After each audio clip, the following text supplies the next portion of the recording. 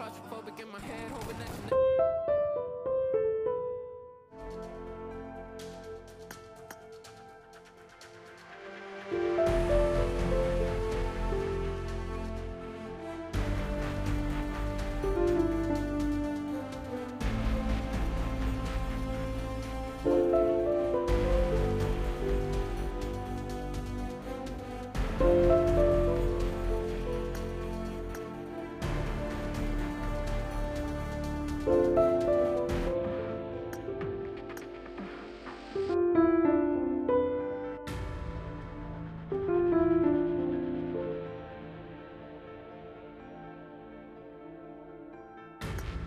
Thank you.